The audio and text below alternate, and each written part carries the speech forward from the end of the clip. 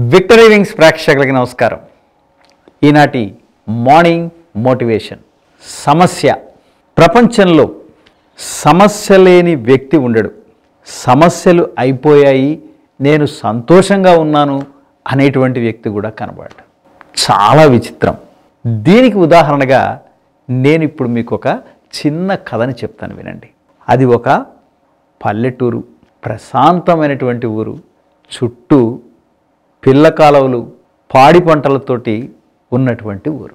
అటువంటి ఊరికి ఒక స్వామివారు వచ్చారట ఆ స్వామివారంటే ప్రపంచంలోనే చాలామందికి ఒక గౌరవం.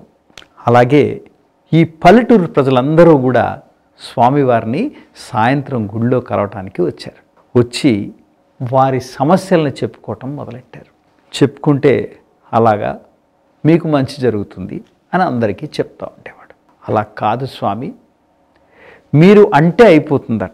మీరు మా సమస్యలన్నింటినీ మీరు పరిష్కరించాలి అని ఆ స్వామివారికి ప్రజలందరూ మొరపెట్టుకున్నారు.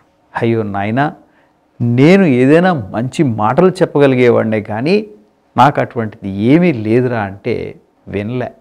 లేదు లేదు స్వామి మీరు మమ్మల్ని కనికరించట్లేదు. అందుచేతనే మీరు ఇవ్వట్లేదు.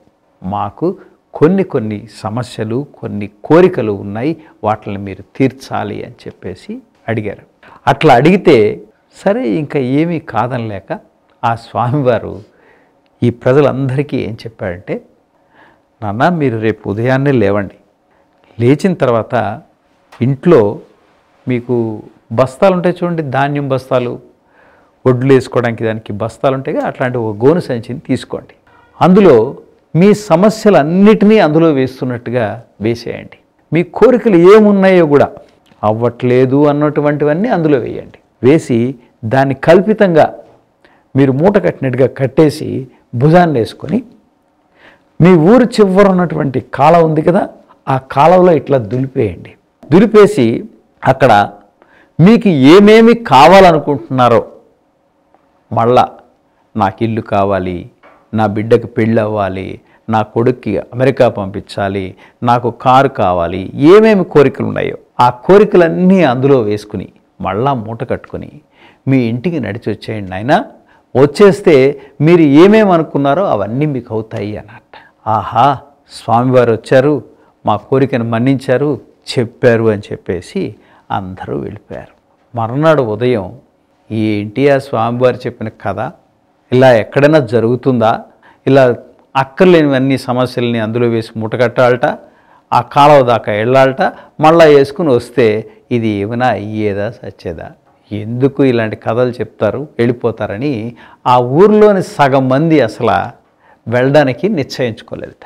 ఇక మిగిలినటువంటి సగం మంది పోయిందేముందిరా ఒక ట్రైల్ వేస్తే పోలే? ఏది లేకపోతే మార్నింగ్ వాకింగ్ వెళ్ళి వచ్చినట్టు అవుతుంది. ఓ నాలుగు కిలోమీటర్లు నడిచి వస్తాం అంతకన్నా ఏం లేదు కదా అనుకున్నారట సరే వాళ్ళు అనుకున్న వాళ్ళు అందరూ కలిసి కొంతమంది అందులో అన్ని సమస్యలని వేసి మూత కట్టేసి టూ సీదా ఆ కాలువ గట్టుకు వెళ్ళిపోయి ఆ కాలువలో ఈ గోను బస్తాన్ని దులిపేసుకుని మళ్ళా వాళ్ళకి ఏమేం కావాలో అన్నీ వేసుకుని మళ్ళా భుజాన్ని పట్టుకుని వాళ్ళ ఊరికి వచ్చారట. ఆశ్చర్యం ఏమిటో తెలుసా? వాళ్ళు ఏమేమనుకున్నారో ఇల్లు కావాలనుకున్న వాడికి ఇల్లు వచ్చేసింది. కారు కావాలన్నవాడికి వాడి ఇంటి ముందర కారు ఉంది. అలాగే పిల్లకి పెళ్ళి కుదరాలి అనుకున్న వాళ్ళకి వాళ్ళకి మెసేజ్లు కూడా వచ్చేసినాయి. మీ అమ్మాయిని ఈ సంబంధం మేము యాక్సెప్ట్ చేస్తున్నాం. ఏది కావాలనుకుంటే అవన్నీ నెరవేరినాయి. అప్పుడు మొదలైందిటండి అసలు సమస్య. ఈ యాభై మంది ఫిఫ్టీ పర్సెంట్ వెళ్ళలేదు చూడండి వీళ్ళందరూ అయ్యో మనం వెళ్ళుంటే బాగుండేదే అని చెప్పి వాళ్ళకి సమస్య. సరే ఇది ఈ విధంగా నడుస్తుంటే ఇంకా కొన్ని రోజులు అయ్యేటప్పటికీ ఇంకొక రకం సమస్య వచ్చిందిట. ఏమిటంటే నేను చిన్న ఇల్లు అడిగా. పక్కవాడు ఏడంతస్తుల మేడ అడిగాడు. వాడికి అంత పెద్ద బిల్డింగ్ వచ్చింది. నేను కూడా అడగకపోతేనే నేను ఒక చిన్న గొలుసు కావాలనుకున్న పక్కావిడ వడ్డాణం అడిగింది అని వాళ్ళు. నాకు ఎకరం పండితే చాలు అనుకున్న పక్కవాడు పది ఎకరాలు నేను కొనాలి పండాలి అనుకున్నాడు. అలా నేను ఎందుకు చేసుకోకపోతేనా అనుకున్నట్ట. ఇలా కొన్ని రోజులు అయ్యేటప్పటికీ అక్కడ వెళ్ళని వాళ్ళు సమస్యలతోటే బాధపడుతున్నారు. వెళ్ళిన వాళ్ళు కూడా సమస్యలతోటే బాధపడుతున్నారట. మరలా ఒక సంవత్సరం తర్వాత ఆ గురువు గారు వచ్చారట. ఏమైంది నాయన? అందరూ హ్యాపీగా ఉన్నారా? అందరూ సుఖంగా ఉన్నారంటే వీళ్ళ సమస్యలన్నీ మళ్ళా మొదలుపెట్టారట. ఇది కల్పిత కథే అయినా సమస్య అనేటువంటిది ప్రతి మానవుడు ఏదో విధంగా సమస్యల కోణంలోనే ఉంటాడు. సమస్య నువ్వే పరిష్కారం నువ్వే. మరిన్ని మంచి విషయాలతో మరొక వీడియోలో కలుద్దాం. అంతవరకు సెలవు. మీ ఫణీంద్ర గోటేటి. మీకు ఈ వీడియో నచ్చినట్లయితే లైక్ చేయండి షేర్ చేయండి సబ్స్క్రైబ్ చేయండి.